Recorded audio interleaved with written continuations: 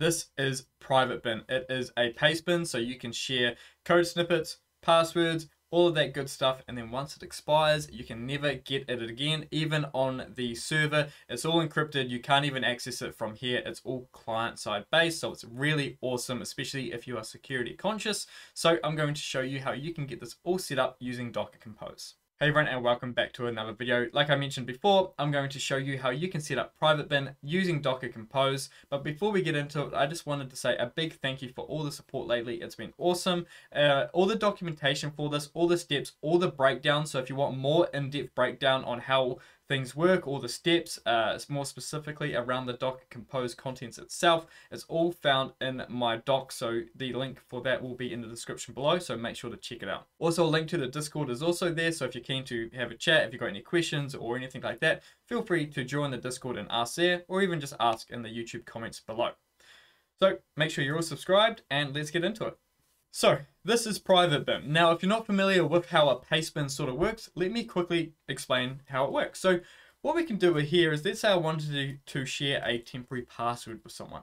So let's just say, you know, uh, testing one, two, three. I wanted to share this with someone. So what I could do is I can click send. And then what's going to happen is it gives me a link that I can share with someone. So let's say I, I send that link to someone and then they paste it in their, their URL and hit enter you can see that they then get that password. So they can now access it, they can copy it, do whatever they wish with it, and then they're good. And you can say, you can see here that it actually expires in six days. So that's a thing, once it expires, it can never be accessed again. And let me kind of show you how that actually works. So if I come back here again, and let's just do password one, two, three, I can click something like burn after reading. And then what happens there, if I click send again, it's going to give us our link. I paste that in, hit enter. Now you can see we've got password 123, right? And at the top here, it says for your eyes only. Don't close this window. This message can't be displayed again. So what that means is as soon as I hit refresh, it's gone. It's deleted. You can't even get this anywhere. Uh, the server doesn't have it. It's all encrypted. It's all decrypted via the client side. So it's gone.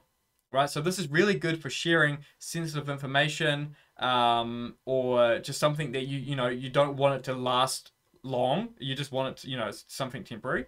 This is really good, and it's not just for that. Even such things such as code snippets. So if you want, you can change the formatting on how you want to do things. So at the top here, we've got format, and if you wanted to do, to do a bit of source code, you could click here, and then you could put some source code in here and it'll format it all nicely. So you can see here you can change when it expires. So you know one week might be too long five minutes ten minutes whatever. So this is where you can kind of choose that or you can have never if you really want. A really cool thing i like is the open discussion. So if we click here and let's go let's talk about food. I don't know whatever right? So let's click there and hit send. Now whoever has this link and you can see i have set as the uh, the code um, format, but that's okay. So let's say we share this link, right? And we maybe we share it with a few people or a team or whatever. Now there's this will live for six days. And now you can have comments here. So if we and it's all and you can have it anonymous if you want. You don't even have to put a nickname, you don't have to log in or anything. So whoever has this link can now talk. So I can go, hello, post a comment. You can reply. Hello. Right? Post a comment.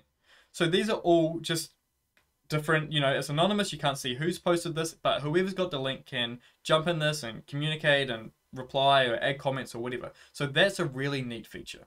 And you can see at the top here, you can save it, you know, email, QR code, all of that good stuff to access it. So I think that pretty much explains how Private Bin works. It's a paste bin, it's really cool, and we can self-host it. So let's actually show you how you can self-host it yourself. So I just want to quickly take a moment to say again, I have a documentation page for this, right? So if you feel like I might be jumping over a few things or not might not be getting specific enough, it's because I've got the documentation for it where you can spend your time and read more about it. So here is where you'll find the Docker Compose file. Uh, I will cover this Compose file and I'll, I'll deploy it all in this video but again I just want to just point out you know if you if you're keen on understanding every aspect of the compose file it's all explained in the documentation page here the individual steps for deploying it, key things to keep an eye out for. Uh, I'll also raise those in a second. and also how the directory and all the contents inside the directory uh, work and why they're there. So if you've got questions around that, they're all here and that can be found in the description. Right, so we are on my server now. So this is where I have my private bin Docker Compose. So I the way I do it is I normally make a folder called Docker, and then in there I'll make another folder for any container that I'm running where their compose will live and any of their bind mounts that they might be using. So let's jump into the compose file and I'll take you through it. So this one here is, again, if you want the more in-depth around why all these are here and why they work, how they work and why they're there, uh, the documentation explains all of this. But I'll cover the key points. So we're using the image here, which is the private bin image. Uh, the restart always, it just means that if the server restarts, uh, it, it, will always come up unless you specific say uh, for it not to. Uh, the read only means that the root file system is read only. You can't write to it. It's purely just read only. Now what I've got here is also the user. So the, the container uh, and the user that I'm specifying for the container and you know where it can access. So the idea with this is that I don't use root for deploying my Docker containers, right? I have a user called Techdox and that user is what's deploying these containers.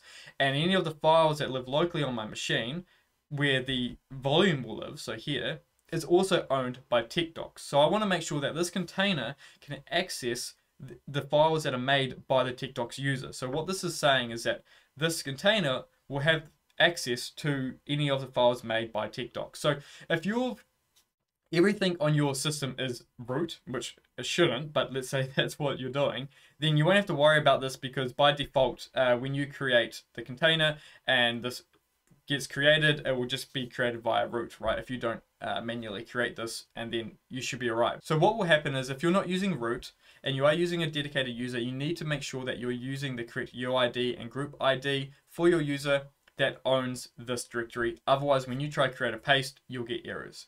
Now, if you are getting errors around this and you're trying to get an idea on how this works, um, feel free to ask in the comments or jump into the Discord. But generally, if you've just got the one user and that user was created by default, if you're using like Ubuntu server, uh, your ID should be 1000 as well. Now ports uh, 8082 is what I'm go is what I'll be accessing private bin on. Now you can change that 8082 to any port that's available. It's just that 8080 on this is used by something else, so 8082 is the next best thing for me. Uh, but again, change that to whatever you like. Now volume. So th what this looks like here is what this is doing is saying it's there's going to be a private bin hyphen data folder in this directory where the compose file is, okay? And it's going to be mounted to this directory in the container. So since my folder is going to be owned by my user, my Techdox user, I need to make this directory first before I run the compose because if I run the compose first and this doesn't exist, this folder will be owned by root and then the container can't talk to the folder and then I get that permission error. Okay, so yeah, so I'm gonna make the uh, the folder first. And that's the compose. Again, all the documentation explains this as well. Now, another key note is that you have to access private bin via HTTPS. So you, there's a few options you can go about doing that, and I'll explain that in a second. Right, so I need to make this folder here. So let's do a make directory, and there we go. So now if I do an LL, we can see that this is owned by Techdox, right? This directory here. And if I didn't make this first and then ran it, it would be owned by root, and I'd have that file permission issue.